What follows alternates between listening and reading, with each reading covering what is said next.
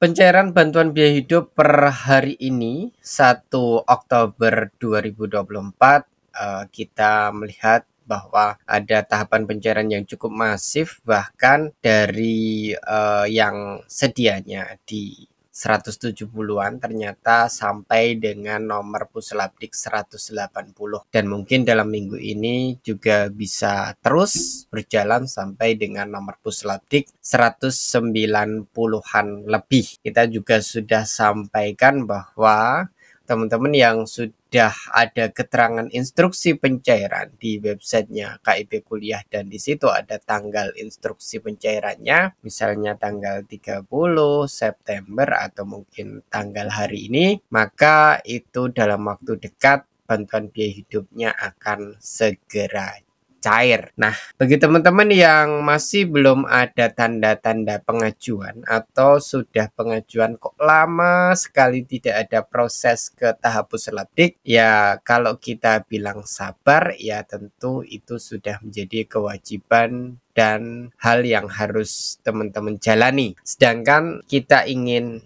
mereview sedikit bahwa kalau belum pengajuan itu bukan karena faktor eksternal ya teman-teman bahwa memang mulai semester ini seluruh kampus memang agak mengeluh ya berkaitan dengan pengajuan pencairan karena bersifat manual. Kemudian PD Diktinya harus benar-benar update sampai dengan update KRS, lalu juga ada pencocokan ulang nomor rekening gara-gara PDNS diserang hacker, website KIP kuliah diambil datanya, kemudian untuk mengantisipasi agar pencairan bisa tepat sasaran, maka nomor rekening mahasiswa KIP kuliah dicek satu-satu termasuk data-data lainnya ada pemadanan data pendidikti dan websitenya KIP Kuliah. Ketika ada data yang tidak sama, tidak sinkron, pendidiktinya nolak disinkronkan, website KIP Kuliahnya tidak akan segera memproses pencairan. Jadi proses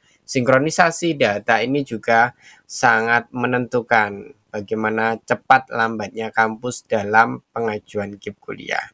Boleh jadi kamu sekalian sudah kirim SK pencairan, kirim SPTJM pencairan, tetapi kok nggak beranjak-beranjak, prosesnya di website KIP kuliah kok nggak bergerak, ya tentu yang Menjadi faktor penghambatnya ialah update PDDT. Bukan dalam rangka mencari kambing hitam, tapi memang pada kenyataannya cepat lambatnya pencairan KIP kuliah uh, ada di tangan kampus ketika pengajuannya tidak disegerakan, proses administrasinya tidak disegerakan, update PD Diktinya tidak disegerakan, ya Puslapdik tidak akan memproses pencairan di kampus kalian. Proses pencairan bisa bertahap, satu angkatan dulu, uh, beberapa fakultas dulu, atau mungkin dicicil karena memang uh, Tentu kalau input satu-satu dan nunggu sampai selesai baru diajukan ya tentu akan memakan waktu yang cukup lama dan itu kasihan teman-teman yang sudah menunggu pencairan. Silahkan dibantu kampusnya kalau fakultasnya lama atau kaprodinya lama update PDDikti silahkan dibantu teman-teman ya. Sepengamatan kami yang menjadi penghambat utama ialah fakultas sebelah sudah selesai update PDDikti, fakultas kalian nggak selesai-selesai atau mungkin prodi kalian uh, sebagian udah cair mungkin ya PD diktinya udah clear. Sementara kamu kok nggak cair sendiri?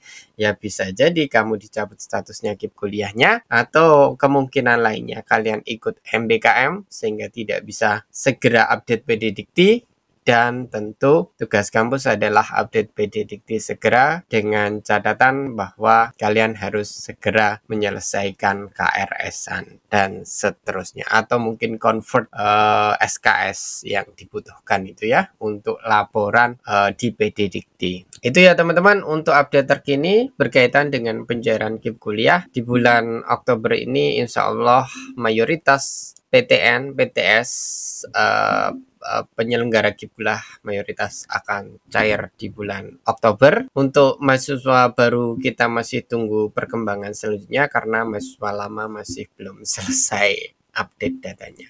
Semoga ada informasi yang bisa teman-teman dapatkan.